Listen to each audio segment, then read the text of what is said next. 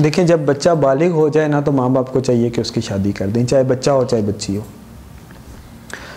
और जो ये हमारे यहाँ एक बातिल कॉन्सेप्ट चला हुआ है ना कि बच्चा अपने पाँव पे खड़ा होगा तो इसकी शादी करेंगे। तो पहले तो डिफ़ाइन करेंगे, पाँव पे खड़ा होना क्या है?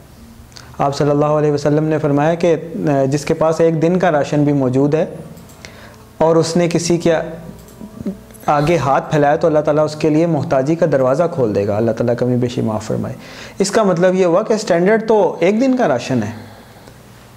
तो अगर आपके पास दो दिन का राशन है तो इसका मतलब है कि दो बंदे खा सकते हैं। तो वैसे जनरली बात कर रहा हूँ, हमारे घरों में क्या है? मतलब महीनों का राशन पड़ा होता है बैंक अकाउंट में पैसे अलग होते हैं सेविंग्स अलग होती हैं, और कपड़े कई कई पड़े होते हैं, हर चीज़ ज़रूरत की होती है, लेकिन कह रहे होते हैं, बच्चा अपने पाँव पे खड़ा होगा तो ये तो वही वाली बात है कि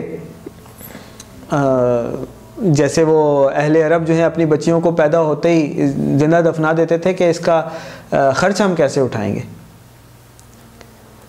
तो आज वही बात है कि आप अपने बच्चों को उनकी वो जो अल्लाह ताला ने बायोलॉजिकल नीड्स बनाई हैं और शरी ज़रूरत है वो आप पूरी नहीं कर रहे कि, ये खाएँगे कहाँ से? तो अगर आपके घर में जहाँ इतने लोग खाते हैं वहाँ एक लोग और भी खा लेगा। और जब जो आने वाला होता है ना, वो अल्लाह ताला देखें, हर का रिस्क तो अल्लाह ताला ने अपना अपना लिखा हुआ है। जो आने वाला है, वो भी अपना रिस्क लेकर आएगा। मैं ये नहीं कह रहा कि बिल्कुल किसी के घर में अगर फाके चल रहे हैं तो वो कहे कि जी मैं चार निकाह कर लूँ, ऐसी बात नहीं है।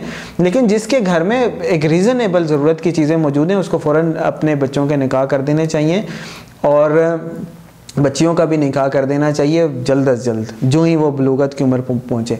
हाँ ये है कि थोड़ी सी ये अगर मेच्योरिटी देखा जाए, अगर किसी के अंदर बिल्कुल ही बचपना है बात बात पे लड़ पड़ता है, कोई बात नहीं मानता, छोटी उम्र की बात कर रहा हूँ तो ठीक है थोड़ा सा उसमें यह है कि ये नहीं है कि बिल्कुल ही तेरह साल में कर दें, आजकल तो बच्चे, बच्चियाँ, माहौल ही ऐसा है कि जल्दी बालिग हो जाते हैं।